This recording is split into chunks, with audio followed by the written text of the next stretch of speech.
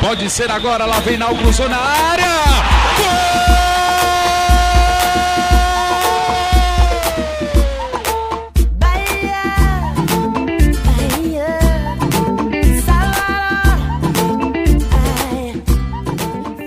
Para dar continuidade às reportagens sobre as escolinhas de futebol em Itapetinga, o Itapetinga News exibirá nesta matéria as filosofias, técnicas e testemunhos de uma das escolinhas mais novas da cidade. Porém, já possui um conceito de uma grande fábrica de atletas. Estamos falando da escolinha de futebol, aqui se faz atleta.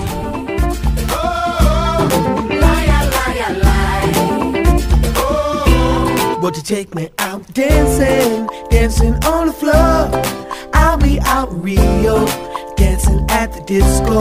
Girls be looking sexy, dressing mighty fine. Baby dance funky, having themselves a good time. I'll be stepping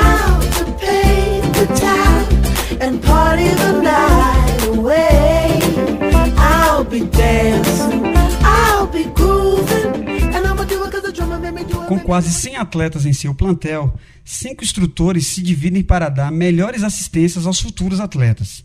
As técnicas são devidamente colocadas em cada fase conforme a categoria. E ainda conta com professores que tiveram experiências como ex-atletas amadores e até mesmo profissionais.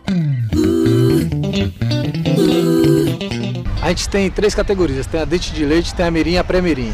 Então cada uma é, é, tem a filosofia de trabalho. A dente de leite é, são garotos de, de 5 a 7 anos.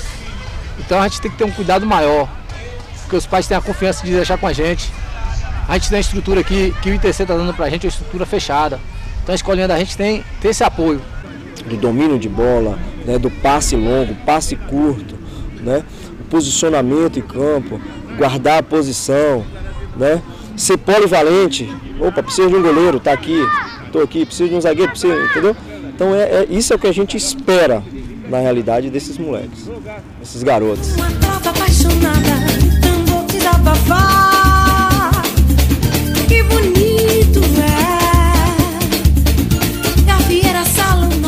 A principal preocupação da escolinha é manter efetivo o lado social e interativo dos alunos, formando assim muito mais do que atletas. Fantasia que a gente aprendia no dia a dia era, era uma motivação a mais para a gente continuar é, sonhando a chegar ao profissional, a chegar a ser um jogador profissional de futebol. Acho que faz parte do trabalho da gente cobrar isso também, a parte social, a parte do estudo, não só o futebol.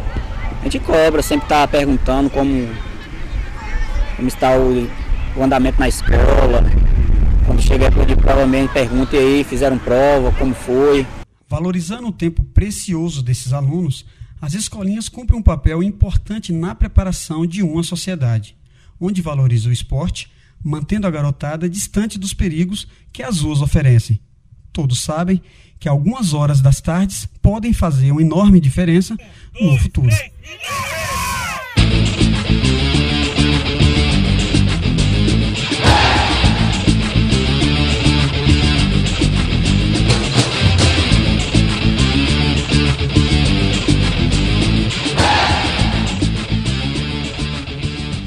Adianta só vir jogar bola, tem também tem um, um, um, uma disciplina na escola, tem uma nota boa, né? Para mais jogar bola na rua. E, e, meu moleque, por, por, exemplo, ele joga muita bola na rua. Então está trazendo algum, alguns, algumas, alguns problemas lá na rua, né? O bate de portão, quebra fio, fio elétrico, entendeu? Então eu prefiro mil vezes ele vem para a escolinha, ele joga aqui, onde ele pode aprender mais, ter contato com outras crianças, né? Do que ficar jogando na rua. Eu notei uma diferença muito boa né, em relação à, à convivência comigo e com a minha esposa, com a família em geral, né? Porque querendo ou não traz um benefício de respeito mútuo, né? Respeito para com os colegas aqui. Seria bom e, e tira muitas crianças, não só uh, daqui, uma, eh, a gente tem, tem visto histórias aí de escolinhas aí e tem tirado muita criança da droga. Hoje em dia a criança só quer saber de usar. Né? Algumas crianças caem para o mundo da droga. A escolinha, né? A escolinha traz essas crianças, né? para a escola. Foi muito bom, porque às vezes a criança não pode ficar sozinha, só ali para. Pra, né?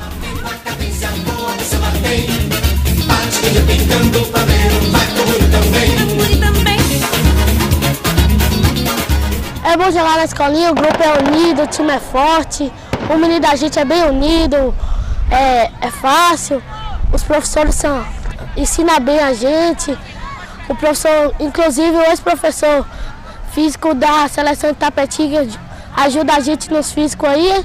É bom jogar aqui na escolinha, o campo é bom, a gente tem o clube para treinar. Isso aí, nós jogamos campeonato. E a escolinha aqui é boa, tem o mirim, o pré-mirim, os pequenininhos. O infantil acabou, mas a gente vai tentar levar o time da escolinha para frente. Eu quero ser um atleta, jogar no Santos, fazer muito gol.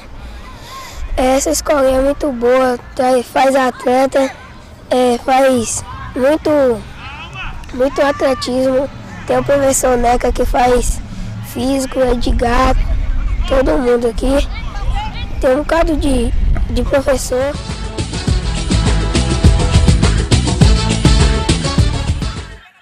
Tudo começou aqui, como eu falei, graças a, a essa base que eu tive aqui em Tapetinga. E, daqui eu pude sair para Bahia. Depois, é, naquela troca do diretor do Bahia para Vitória, fui para Vitória. Conseguia chegar ao profissional do Vitória, sendo revelação do campeonato baiano, com, ainda com idade de junho, mas tudo isso com aquela base, aquela base daqui em Tapetinha. Renascemos no projeto de novo, né? Porque o projeto já vinha dentro da escolinha, tinha acabado com a escolinha do clube. Aí nós retornamos esse projeto dentro do clube, junto com os meninos aí, com a ideia deles. E só tem crescido.